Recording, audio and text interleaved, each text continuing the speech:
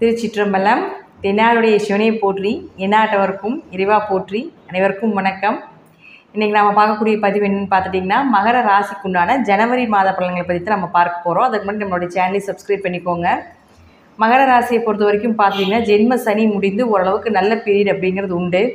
அதே போல் ராகு கேதுகளும் நல்லா இருக்காங்க. அடுத்து குரு பகவானும் வக்ர நிவர்த்தி ஆயிட்டார். குரு வக்ர நிவர்த்தி ஆன உடனே உங்களுக்கு விரைய செலவுகள் குறைஞ்சிருக்கும். அதே போல் குடும்ப ஒற்றுமை அதிகரிச்சிருக்கும். சகோதர ஒற்றுமையும் அதிகரிச்சிருக்கும்.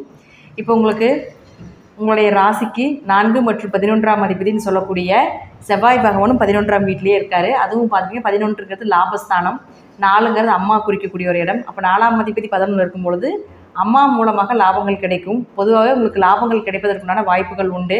ஆசைகள் நிறைவேறக்கூடிய ஒரு அமைப்பு. வீடு மனை சொத்து சேர்க்கை ஏற்படும். வண்டி வாகனங்கள் வாங்கக்கூடிய ஒரு அமைப்பு.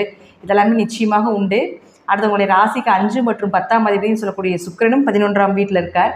அப்போது பொதுவாக பத்தாம் அதிபதி பதினொன்றில் இருந்தால் தொழிலில் நல்ல வளர்ச்சி தொழிலில் நல்ல லாபங்கள் எது செய்தாலும் பல மடங்கான வெற்றிகள் கிடைக்கும் அப்படிங்கிறதுலேயும் மாற்றமே இல்லை. அடுத்து பார்த்தீங்கன்னா அந்த சுக்கர பகவான் பார்த்தீங்கன்னா பதினெட்டாம் தேதிக்கு மேலே பன்னிரெண்டாம் வீட்டுக்கு வரார். அப்போ கொஞ்சம் பதினெட்டாம் தேதிக்கு மேலே கொஞ்சம் உங்களுடைய தொழிலில் ஒரு மாற்றங்கள் ஏற்படுறதுக்கு வாய்ப்புகள் உண்டு. வெளிநாடு வெளியூர் பிஸ்னஸ் எல்லாமே சிறப்பாக இருக்கக்கூடிய அமைப்பையும் நிச்சயமாக ஏற்படுத்தி கொடுப்பார். அடுத்து உங்களுடைய ராசிக்கு ஆறு மற்றும் ஒன்பதாம் அதிபதினு சொல்லக்கூடிய புதன் பகவானும் பன்னிரெண்டாம் வீட்டில் இருக்கார். ஆறு குடையவர் பன்னிரெண்டில் இருந்தால் விபரீத ராஜயோகத்தை ஏற்படுத்தி கொடுப்பார். திடீர் பணவரவு திடீர் அதிர்ஷ்டங்கள் இதெல்லாமே கிடைக்கும். அப்போ அவரே பத் ஒன்பதாம் அதிபதியாகி பன்னெண்டில் இருக்கும் பொழுது அப்பாவுக்கு ஏதாவது மருத்துவ செலவுகள் ஏற்படுறதுக்கு வாய்ப்புகள் உண்டு. அதே போல் ஒன்பது அப்படிங்கிறது தீர்த்த யாத்திரை பன்னிரெண்டும் அப்படிங்கிறது தொடர்பு ஏற்படும் பொழுது ஆன்மீக சுற்றுலா தீர்த்த யாத்திரை சென்று வரக்கூடிய ஒரு சூழ்நிலையை நிச்சயமாக ஏற்படுத்தி கொடுப்பார்.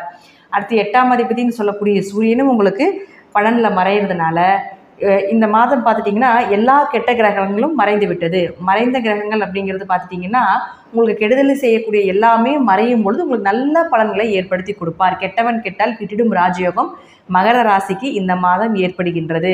அதனால் பெரிய ஜாக்பாட் அடிக்கக்கூடிய மாதமாக மகர ராசிக்கு இந்த மாதம் உண்டு.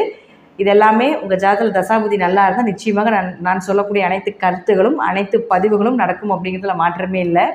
நன்றி. மீண்டும் ஒரு நல்ல பதிவில் சந்திக்கலாம். திருச்சிற்றம்பலம் தில்லையம்பலம் ஸ்ரீ நரசிம்ம சரணம்.